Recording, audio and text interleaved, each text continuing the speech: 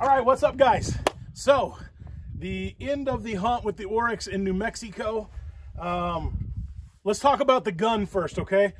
I did the video on 6.5 Creedmoor on elk. It's been my most popular video, so thanks for watching. Please like, subscribe, hit the bell notifications. Um, we all know that Oryx are tough. They're, they're freaking tough animals. Their heart is not behind the shoulder, it's in their shoulder. So they're just an absolutely tough animal. And I've heard for years that takes a 300 Win Mag or a 7 Mag. And so we did that. We, we ran the numbers like I talked about with the speed and the foot pounds of energy. And Sway and I decided that we didn't want to shoot at one past 600 yards with with um, with the 6.5 Creedmoor. So we used the 6.5 Creedmoor. Um, this was built by a buddy of mine. Um, it's a Remington 700 PTG action, uh, Rock Creek barrel, APA brake. This is um, a Harris bipod with, what are these feet? Uh, those are the spike. Spike, spike tactical, I guess, spike nice. tactical spike feet. Um, Manners, carbon fiber, EH2 stock. Um, I, I guess it's the, it's the carbon, I mean, it's the Gen 2. Um, 6.5 Creedmoor, and it's got the new Night Nightforce NX8. Um, it's a mil scope. It's a two and a half to 20. First, I'll tell you, this Nightforce scope was pretty amazing. What do you think? It was it was good. The ga the glass is super clear. Yeah, the, the glass is really clear. I had my, I just got a pair of, of Leica, the HDB 10 by 42 3000s. I've been wanting them for like 15 years. I finally got them, and they're a little more clear than this but but this is super clear. So when we, we would have, find them, we also have more power. So I yeah, mean, it's kind of hard to compare a 10 by 42 by a, you know. But I can tell you, I had the Bushnell um, Elite on my 6.5 PRC that we had with us as a backup gun. The the Bushnell versus the Nightforce is like you know like a versus the the low end Vortex. Yeah. Um, so I'm a huge fan of this Nightforce scope, man. This is um, it's a very clear optic. But anyway, he was 440 meters exactly um, when, when Sway shot at him. That's 481 yards. What was your dope? Do you remember? Uh, what would you say he was for? He was 481 yards. The first shot. So we doped.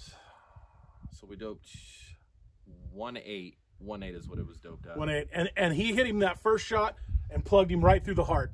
And so yeah. He went up again at, at 500, and then he shot him again, and I thought he missed, but he shot him again right up just on this other side. And the Oryx went down just over a hill where we couldn't like see. Five five forty. Whenever he moved, he ran about hundred yards. Yeah, and then he was uh he was 480 84 meters then, so he was like 520 530 so like at 5 5 yeah i think you called out 530 so at 530 i went up. I went to 2.6 mil. 2.6 mil. And then he hammered him again. And that's something that you guys got to really pay attention to is when an animal, a deer, an elk, it doesn't matter. You know, oryx and mule deer for sure now. Elk sometimes, whitetails 50-50. But follow them in your scope even when they're running. Don't shoot at them. Just follow them. And just be waiting on them to stop because a lot of times they'll stop and look back at you. And when they do, you have that brief second to hammer them, right? And that's what he did on that 500-yard shot. He had already been hit once and he ran, he, he probably really ran about 60 yards, it just, you know, just away from us like this. And uh, I told Sway, just shoot him one more time.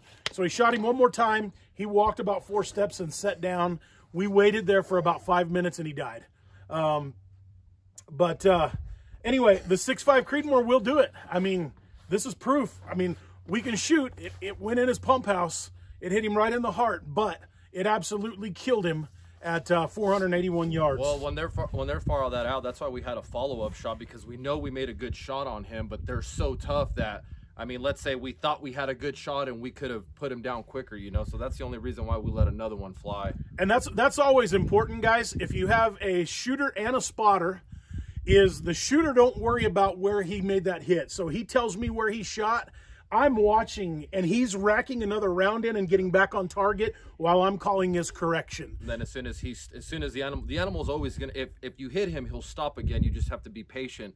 Once he stopped, Trey already knows. You know, I didn't even have to call out and ask him what he was. He said it was 530. I went up a couple more mils to two, two one, two two, somewhere around in there, and we and I we just slung another one at him. But uh, had we not hit him the second time, he was he he was in the process of going. Yeah, he was going to die either way. We didn't have to shoot him the second time, but if an animal's up, I, tr- I try to get him the second time. Um, but anyway, so this is a this is you know another amazing time. Oryx is is something that I've chased for a long time.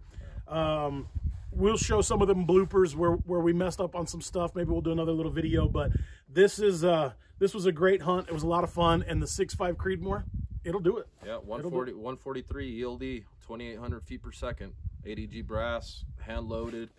Um, I mean it. Here, here she is. put the hammer down.